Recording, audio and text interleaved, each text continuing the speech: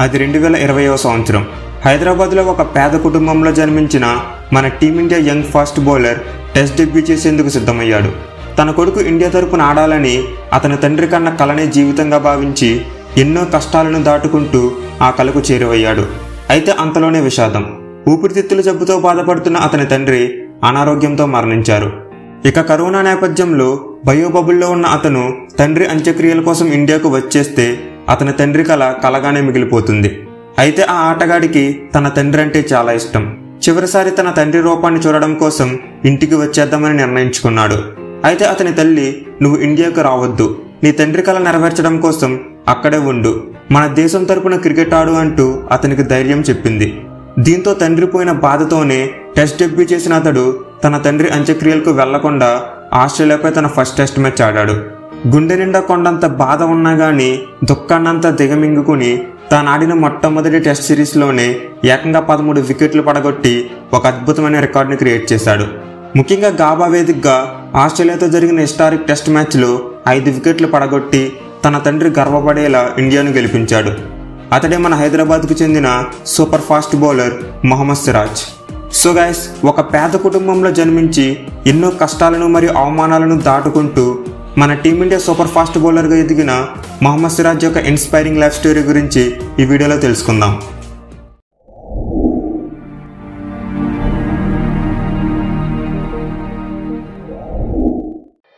సిరాజ్ పూర్తి పేరు మొహమ్మద్ సిరాజ్ అలాగే అతని అందరూ ముద్దుగా మియా అని పిలుస్తారు.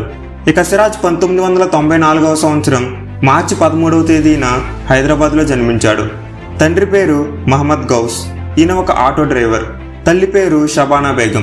ఈమె తన కుటుంబం గడవడం కోసం డబ్బున్న వాళ్ళ ఇళ్ళలో ఒక పని మనిషిగా పనిచేసేవారు. ఇక సిరాజ్ ఈ దంపతులకు జన్మించిన రెండవ సంతానం. అలాగే అతనికి ఒక అన్నయ్య మొహమ్మద్ ఇస్మాయిల్ కూడా ఉన్నారు ఇక కటిక పేదరికంలో ఉన్న సిరాజ్ కుటుంబం అతని తల్లిదండ్రుల కష్టం మీదే ఆధారపడి బ్రతికేది. అయితే సిరాజ్కు చిన్నప్పటి నుండే క్రికెట్ అంటే చాలా ఇష్టం. అది ఎంతలా అంటే చిన్న వయసులో తన చదువును పక్కన పెట్టి మరీ గంటల తరబడి గల్లీల్లో క్రికెట్ ఆడుతుండేవాడు. అయితే సిరాజ్ ఇలా తన చదువును నెగ్లెక్ట్ చేసి క్రికెట్ ఆడడం తన తల్లికి అస్సలు నచ్చేది కాదు. కొడుకు భవిష్యత్తు గురించి చాలా ఆందోళన పడేది. కానీ సిరాజ్ తండ్రి మాత్రం తన కొడుకుని క్రికెట్ ఆడమని బాగా ఎంకరేజ్ చేసేవాడు. ఇక చిన్న వయసులో సిరాజ్ ఎక్కువగా బ్యాటింగ్ చేసేవాడు. కానీ గల్లీ క్రికెట్లో అతని ఫ్రెండ్స్ నీ బ్యాటింగ్ స్కిల్స్ కన్నా బౌలింగ్ స్కిల్సే బాగున్నాయని అతనికి ఫీడ్బ్యాక్ ఇచ్చేవారు. దీంతో సిరాజ్ బ్యాటింగ్తో పాటు బౌలింగ్ కూడా ఎక్కువగా చేసేవాడు. ఇప్పటికీ సిరాజ్ తన సక్సెస్లో అతని స్నేహితుల పాత్ర కూడా చాలా ఉందని ఎన్నో ఇంటర్వ్యూలో చెప్పుకొచ్చాడు. ఇక సిరాజ్ హయ్యర్ ఎడ్యుకేషన్ కోసం నాంపల్లిలోని సఫా జూనియర్ కాలేజ్లో జాయిన్ అయ్యాడు. అలాగే అతను కాలేజ్ లెవెల్లో ఎక్కువగా టెన్నిస్ బాల్తో క్రికెట్ ఆడుతుండేవాడు. అయితే తను ఆడేది టెన్నిస్ బాల్తోనే అయినా సిరాజ్ మాత్రం చాలా అద్భుతంగా బౌలింగ్ చేసేవాడు. దీంతో అతని లెదర్ బాల్తో ప్రొఫెషనల్ క్రికెట్ ఆడమని తన ఫ్రెండ్స్ బాగా ఎంకరేజ్ చేసేవారు. ముఖ్యంగా సిరాజ్ అన్నయ్య అతనికి చాలా సపోర్ట్ చేశాడు. అయితే సిరాజ్కు ప్రొఫెషనల్ క్రికెట్ ఎలా ఉంటుందో కూడా తెలియదు తనకి ఇరవై ఏళ్ళ వయసు వచ్చే వరకు ఎటువంటి కోచింగ్ లేకుండానే టెన్నిస్ బాల్తో క్రికెట్ ఆడాడు. అయితే సరిగ్గా అదే టైంలో తన అంకుల్ ఒక ప్రొఫెషనల్ వన్డే లీగ్ ఆడుతున్నారు. దీంతో సిరాజ్ తన అంకుల్తో కలిసి ఆ టోర్నమెంట్లో ఒక వన్డే మ్యాచ్ ఆడాడు. ఇదే అతను లెదర్ బాల్తో ఆడిన మొట్టమొదటి క్రికెట్ మ్యాచ్. ఇక టీంకు ఇరవై ఐదు ఓవర్ల చొప్పున నిర్వహించిన ఈ మ్యాచ్లో సిరాజ్ ఏకంగా తొమ్మిది వికెట్లు పడగొట్టి అందరినీ ఆశ్చర్యపరిచాడు. ముఖ్యంగా అతని అంకులైతే సిరాజ్ బౌలింగ్ చూసి అబ్బురిపోయాడు. అంతేకాకుండా తన అద్భుతమైన బౌలింగ్కు గాను ఐదు వందల రూపాయలను బహుమతిగా ఇచ్చారు. సిరాజ్ జీవితంలో తన మొట్టమొదటి సంపాదన ఇది ఇక ఆ తర్వాత ప్రొఫెషనల్ క్రికెట్ వైపు అడుగులు వేసిన సిరాజ్ చార్మినార్ క్రికెట్ క్లబ్లో ఒక బ్యాట్స్మెన్గా జాయిన్ అయ్యాడు. కానీ ఆ క్లబ్ తరపున మ్యాచ్లు ఆడే కొద్దీ ఒక మంచి ఫాస్ట్ బౌలర్గా పేరు సంపాదించాడు. ఇక చిన్నప్పటి నుండి కోచ్ లేకపోవడం వల్ల తన సొంతంగానే బౌలింగ్ టెక్నిక్స్ నేర్చుకున్న సిరాజ్ ఆ క్లబ్లో ఒక స్పెషల్ బౌలర్గా గుర్తింపు పొందాడు. అలాగే తాను ఆడిన ప్రతి టోర్నమెంట్లో కూడా అద్భుతంగా బౌలింగ్ చేస్తూ అందరినీ ఇంప్రెస్ చేశాడు. దీంతో స్టేట్ టీంకు సెలెక్ట్ అయిన సిరాజ్ హైదరాబాద్ తరపున అండర్ ట్వంటీ త్రీ క్రికెట్ ఆడడం మొదలుపెట్టాడు. ఇక సిరాజ్ రెండు వేల పదిహేనవ సంవత్సరం నవంబర్ పదిహేనవ తేదీన తన ఫస్ట్ క్లాస్ డెబ్యూ చేశాడు. అయితే తాను ఆడిన మొట్టమొదటి మ్యాచ్లో కేవలం ఒక్క వికెట్ను మాత్రమే పడగొట్టాడు. దీంతో సిరాజ్కు నెక్స్ట్ మ్యాచ్లో ఆడే ఛాన్స్ రాలేదు. అయితే రెండు వేల పదహారు ఐపీఎల్లో ఎస్ఆర్ఎస్తో ఒక మ్యాచ్ ఆడేందుకు ఆర్సీబీ టీం హైదరాబాద్కు వచ్చింది. సరిగ్గా ఈ టైంలోనే సిరాజ్ ఆర్సీబీ బ్యాట్స్మెన్కు నెట్స్లో బౌలింగ్ వేసేందుకు వెళ్ళాడు. ఇక ఆ టైంలో ఆర్సీబీ అసిస్టెంట్ కోచ్గా ఉన్న భరత్ తరుణ్ సిరాజ్ బౌలింగ్ చూసి చాలా ఇంప్రెస్ అయ్యాడు. అంతేకాకుండా సిరాజ్ను హైదరాబాద్ లెజెండరీ బ్యాట్స్మెన్ అయిన వివిఎస్ లక్ష్మణ్కు పరిచయం చేశాడు. ఇక రెండు వేల పదహారు పదిహేడు రంజీ సీజన్లో హైదరాబాద్ టీం తరపున తొమ్మిది మ్యాచ్లు ఆడిన సిరాజ్ పద్దెనిమిది పాయింట్ తొమ్మిది రెండు బౌలింగ్ యావరేజ్తో ఏకంగా నలభై ఒక్క వికెట్లు పడగొట్టి తన టీం తరపున టాప్ వికెట్ టేకర్గా నిలిచాడు. అంతేకాకుండా ఆ సీజన్లో అత్యధిక వికెట్లు పడగొట్టిన బౌలర్ల జాబితాలో మూడవ స్థానంలో నిలిచాడు. దీంతో అతని రెస్ట్ ఆఫ్ ఇండియా తరపున ఇరానీ కప్లో ఆడేందుకు సెలెక్ట్ చేశారు. అయితే సిరాజ్ ఫస్ట్ క్లాస్ క్రికెట్ ఆడుతున్న టైంలో అతని పేదరికం తనని చాలా ఇబ్బంది పెట్టింది. తన తోటి ఆటగాళ్ళంతా కార్లలో ప్రాక్టీస్కు వస్తుంటే తను మాత్రం కనీసం కిక్ రాడ్ కూడా లేని ఒక పాత ప్లాటినం బైక్పై స్టేడియంకు వచ్చేవాడు. అలాగే ప్రాక్టీస్ ముగిశాక తన తోటి ఆటగాళ్ళు అతన్ని చూసి నవ్వుతారని చెప్పి అందరూ వెళ్ళిపోయాక రోడ్పై తన బైకును నెట్టుకుంటూ స్టార్ట్ చేసి ఇంటికి వెళ్ళేవాడు. అంతేకాకుండా తన తండ్రి ప్రతిరోజు ఆటో నడుపుతూ కష్టపడి ఇచ్చిన డెబ్బై రూపాయల పాకెట్ మనీతోనే తనకు కావలసినవన్నీ కొనుక్కునేవాడు.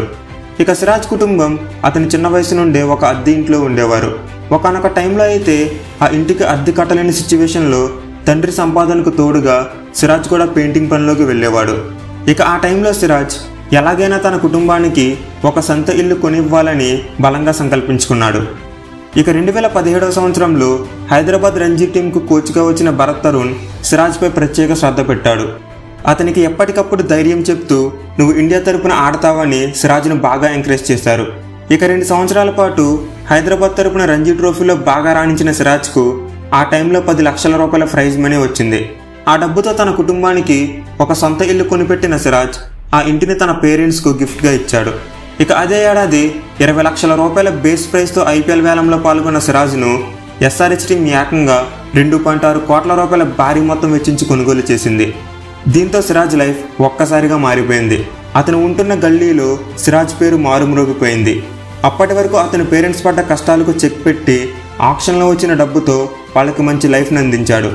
ఇక ఆ ఏడాది జరిగిన ఐపీఎల్లో ఎస్ఆర్హెచ్ తరపున మొత్తం ఆరు మ్యాచ్లు ఆడిన సిరాజ్ ఏకంగా పది వికెట్లను పడగొట్టాడు. దీంతో ఆ ఏడాది జరిగిన న్యూజిలాండ్ సిరీస్కు అతని ఎంపిక చేశారు.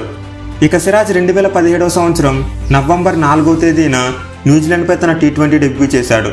అయితే ఈ మ్యాచ్కు ముందు జాతీయ గీతం ఆలపించిన సిరాజ్ చాలా ఎమోషనల్గా ఫీల్ అయ్యాడు. చిన్నప్పటి నుండి తన పడ్డ బాధలను కష్టాలను గుర్తు తెచ్చుకుని కంటతడి పెట్టుకున్నాడు. అయితే ఆ మ్యాచ్లో దారుణంగా ఫెయిల్ అయిన సిరాజ్ ఏకంగా యాభై మూడు పరుగులు సమర్పించుకుని అందరినీ నిరాశపరిచాడు. కానీ ఈ మ్యాచ్లో న్యూజిలాండ్ కెప్టెన్ కేన్ విలియమ్సన్ను అవుట్ చేసిన అతను ఒక వరల్డ్ క్లాస్ బ్యాట్స్మెన్ వికెట్ను తన మొట్టమొదటి వికెట్గా సాధించాడు. అయితే ఆ సిరీస్లో సిరాజ్ ఫెయిల్యూర్ మాత్రం అతన్ని చాలా నిరాశపరిచింది. కానీ రెండు వేల పద్దెనిమిదో సంవత్సరంలో జరిగిన విజయ్ హజారే ట్రోఫీలో మరోసారి మెరిసిన సిరాజ్ కేవలం ఏడు మ్యాచ్ల్లో ఏకంగా ఇరవై మూడు వికెట్లు పడగొట్టి నెంబర్ వన్ బౌలర్గా నిలిచాడు. దీంతో ఆ ఏడాది జరిగిన ఐపీఎల్ ఆక్షన్లో ఆర్సీబీ టీం సిరాజ్కు ఏకంగా రెండు పాయింట్ రెండు కోట్ల రూపాయల భారీ మొత్తం వెచ్చించి కొనుగోలు చేసింది.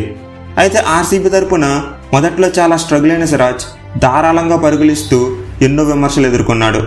అలాగే రెండు వేల పంతొమ్మిదిలో ఆస్ట్రేలియాపై తన వన్డే డెబ్యూ చేసినప్పుడు కూడా ఏకంగా డెబ్బై ఆరు పరుగులు సమర్పించుకుని దారుణంగా ఫెయిల్ అయ్యాడు. దీంతో సిరాజ్ వైట్ బాల్ క్రికెట్కు బ్రేక్ పడింది. ఇండియా తరపున క్రికెట్ ఆడాలని తన తండ్రి కలను నెరవేర్చిన అతని తండ్రి గర్వపడేలా ఒక్క మ్యాచ్ విన్నింగ్ పెర్ఫార్మెన్స్ కూడా ఇవ్వలేకపోయాడు. అయితే సిరాజ్కు టెస్ట్ క్రికెట్ అంటే చాలా ఇష్టం. మొదటి నుండి అతను రెడ్ బాల్ని ఎక్కువగా స్వింగ్ చేసేవాడు. దీంతో వైట్ బాల్ క్రికెట్పై కొంచెం ఇంట్రెస్ట్ తగ్గించిన సిరాజ్ రెడ్ బాల్ క్రికెట్పై ఫోకస్ పెట్టాడు. గంటల తరబడి ప్రాక్టీస్ చేసి తన స్కిల్స్ని ఇంప్రూవ్ చేసుకున్నాడు. సరిగ్గా ఈ టైంలోనే రెండు వేల ఇరవైలో జరిగిన ఐపీఎల్ అతనికి మంచి బ్రేక్నిచ్చింది. ఆ ఏడాది ఆర్సీబీ తరపున తొమ్మిది మ్యాచ్లు ఆడిన సిరాజ్ పదకొండు వికెట్లు పడగొట్టి అందరినీ ఆకట్టుకున్నాడు.